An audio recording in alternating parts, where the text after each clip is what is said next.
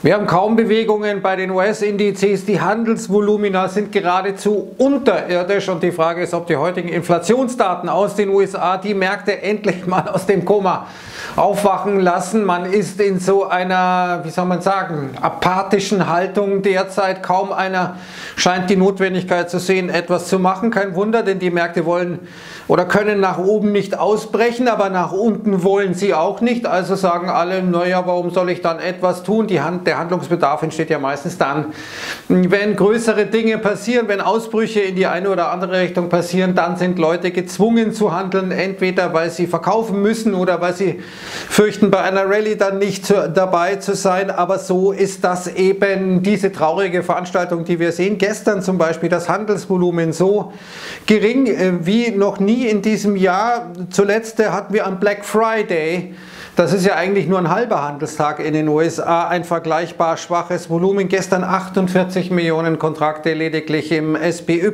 im maßgeblichen ETF auf den S&P 500 gehandelt. Auch davor am Vortag schon also am Montag, äh, da waren es mal 49.000, noch Anfang Mai waren wir mal über 100, äh, 49 Millionen, Anfang Mai waren wir mal über hunderte Millionen wenigstens. Also in den letzten beiden Tagen, da ist das regelrecht zusammengebrochen.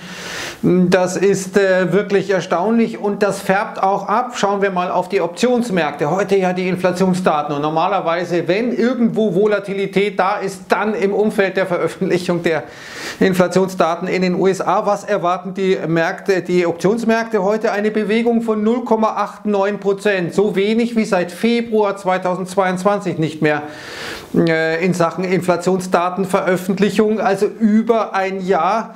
Wir hatten äh, zuletzt ähm, am 12. April ja die Erwartung 0,94, es sind dann nur 0,41 Prozent geworden. Hier sonst äh, 1,99 oder noch im Dezember über 2%. Aber die Märkte sagen sich, naja, egal wie die Daten ausfallen, die Fed wird sehr, sehr wahrscheinlich eine Zinspause machen.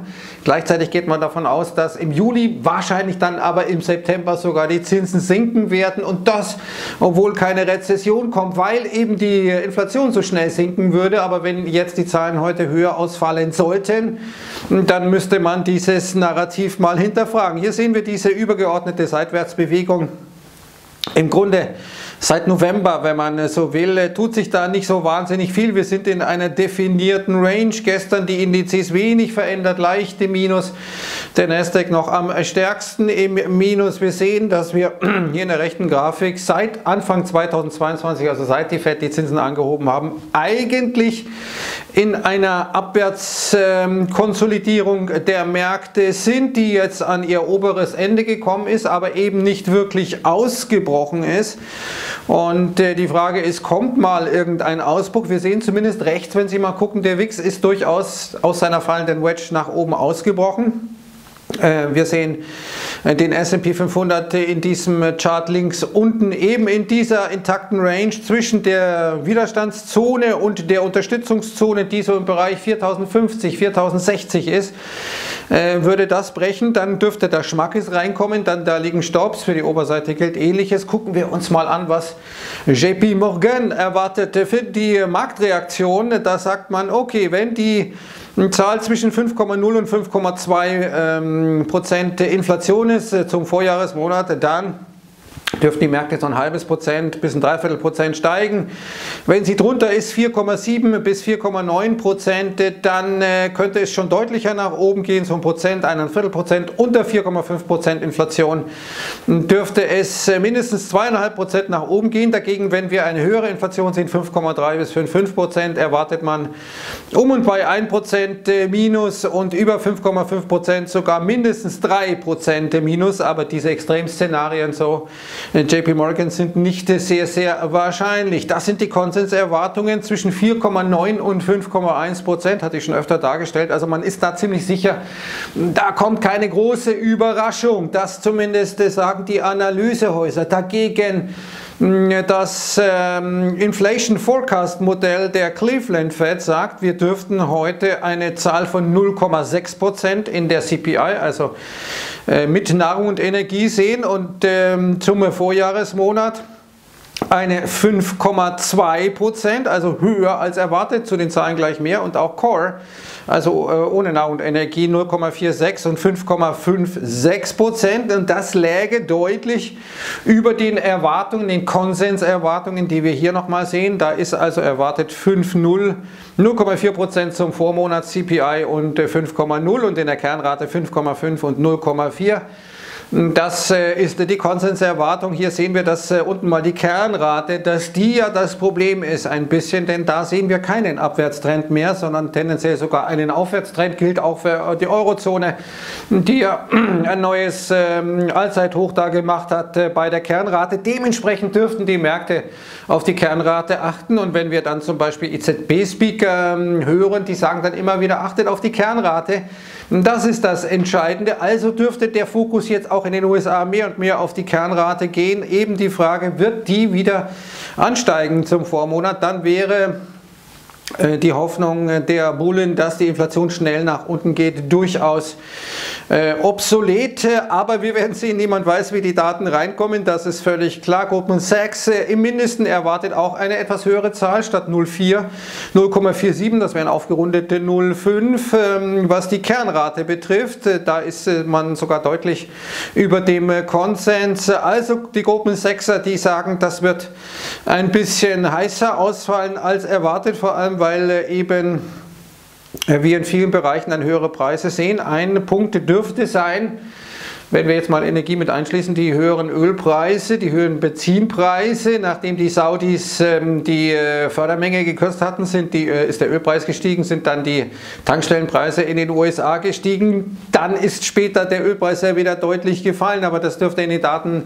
oder ist in den Daten nicht mehr drin. Dementsprechend, weil eben die Preise zum Beispiel an den Tankstellen nach oben gegangen sind, sind auch die jetzt der veröffentlichten Umfrage der New York Fed in Sachen, was erwarten eigentlich die Konsumenten an Inflation, wieder hm, nach oben gegangen nachdem sie eine Zeit lang gefallen waren. Also man erwartet wieder mehr Inflation. Nur die Firmen äh, sagen, US-Firmen sagen, also Inflation ist nicht mehr so richtig unser Problem. Hier beschwert man sich vor allem über die schlechte Qualität der Arbeit, aber sei es drum. Jetzt äh, ist aber diese ganze Inflationsthematik vor allem deswegen relevant, weil man sich äh, eben die Frage stellt, was bedeutet das für die Fed? Also müssen wir der Fed zuhören. Hier sagt Williams, Fed der New York-Chef, ähm, wir sagen, dass wir nach wie vor unser Ziel nicht erreicht haben, wenn wir die ähm, Geldpolitik nochmal strafen würden äh, müssen, dann tun wir es. Äh, ich sehe nicht, dass wir in diesem Jahr äh, die Zinsen senken,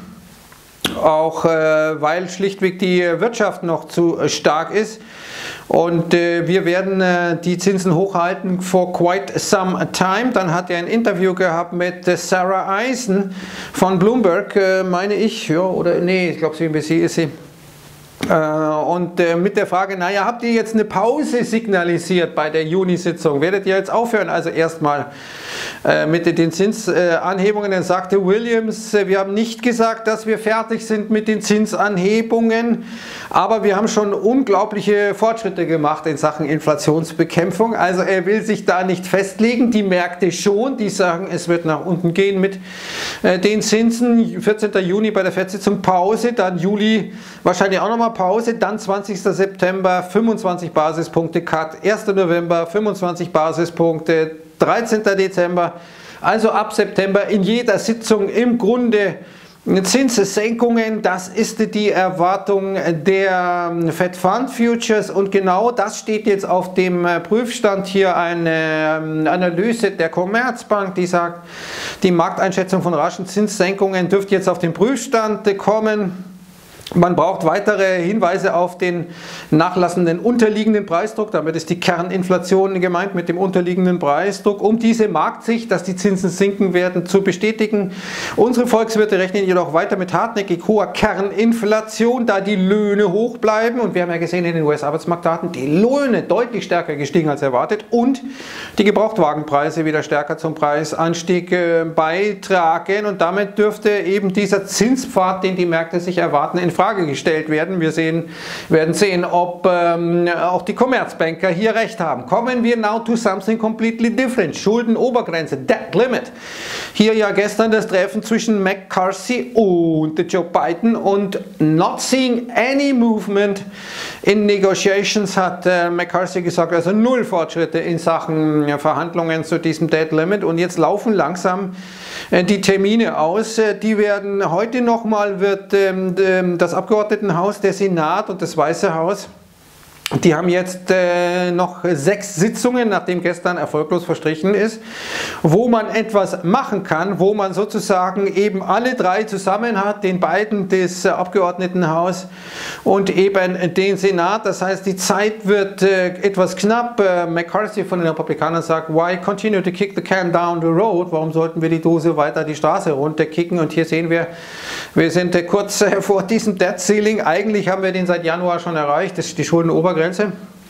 Nur durch Tricks, buchhalterische Tricks von La Jeanette Yellen, äh, der Finanzministerin, geht das überhaupt noch jetzt. Aber die, ähm, das Konto von Yellen wird immer äh, leerer sozusagen. Das geht äh, ziemlich rapide und dementsprechend vor allem kurzlaufende T-Bills, die werden nervös, weil man eben da einen Zahlungsausfall verpflichtet. Dementsprechend ist es extrem teuer, sich derzeit gegen einen Zahlungsausfall der USA abzusichern und wie Stan Druckenmiller ähm, darauf hinweist. Also wenn wir eine so boomende Wirtschaft haben, zumindest eine Wirtschaft, die es nicht schlecht geht, und dennoch haben wir so miserable fiskalische Defizite, die wir erzielen, über 5%, das Defizit, ähm, das ist schon unglaublich äh, was da sozusagen an Schulden gemacht wird. Und das große Problem ist jetzt eben zwischen Republikanern und Demokraten sich zu einigen. Die Republikaner haben ja einen Vorschlag vorgelegt, der durch das Abgeordnetenhaus gekommen ist, der also ähm, dort äh, Zustimmung gefunden hat, dass eines der Probleme ist zum Beispiel, dass da Leistungen für Veteranen gestrichen werden. Dann sagen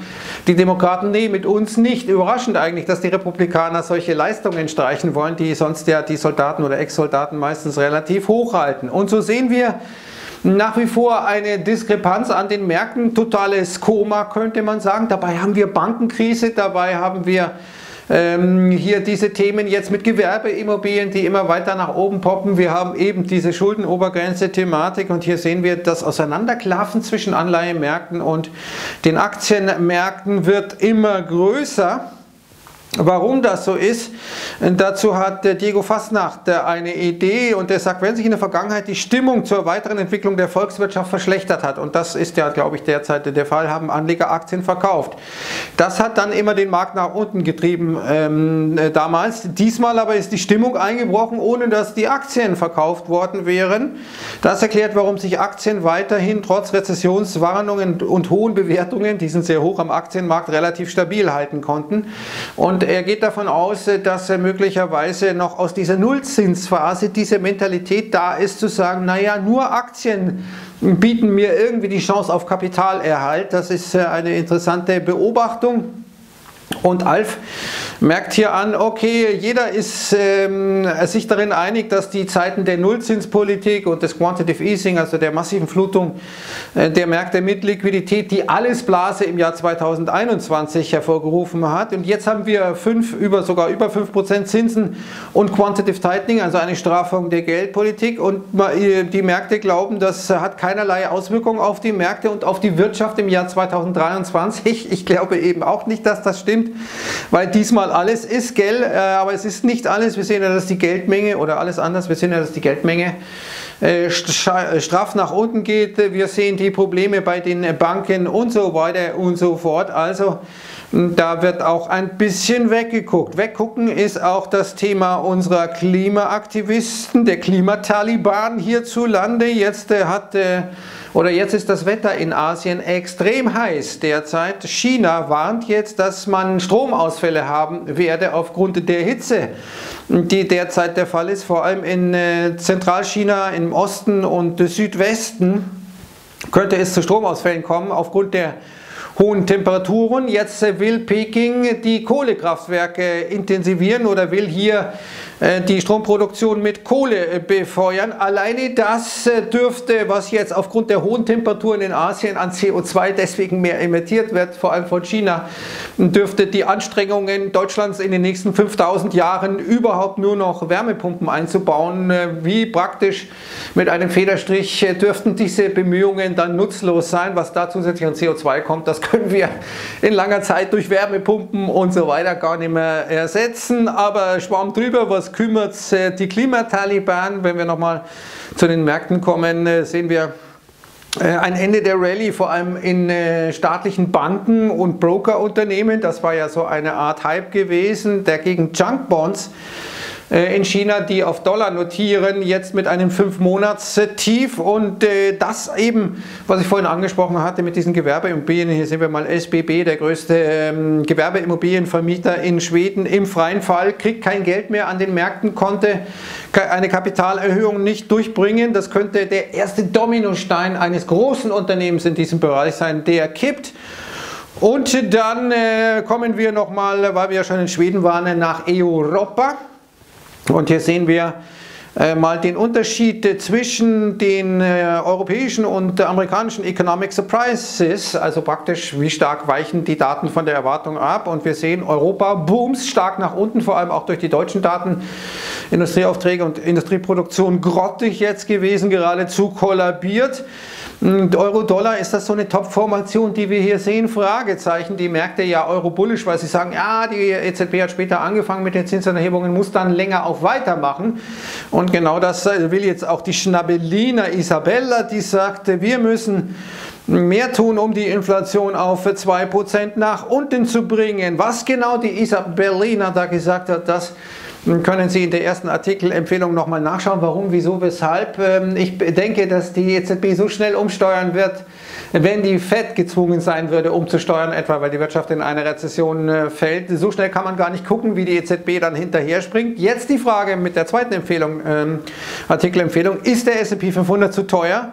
Was uns 40 Jahre Kurs-Gewinn-Verhältnisse dazu sagen. Allerdings ähm, muss man eben auch einbeziehen die wirtschaftliche Entwicklung. Wenn wir jetzt in eine Rezession gehen in den USA, äh, dann sind diese Bewertungen, die Sie hier rechts sehen, deutlich, deutlich zu teuer. Und nochmal zurück wieder nach Europa, nach Deutschland genauer gesagt. Hier gibt es jetzt Pläne der EU, die dazu führen würden, dass unser gesamtes Bankensystem sich verändern würde. Also Ende der Genossenschaftsbanken, Ende der Sparkassen etc. etc. Äh, das wäre ein echter Gamechanger im gesamten Finanzsystem. Also diese drei Artikelempfehlungen, 14.30 reinschauen bei Finanzmarktwelt. Ähm, die Reaktion der Märkte auf die Inflationsdaten. Ich sage jetzt erst einmal Servus und Ciao.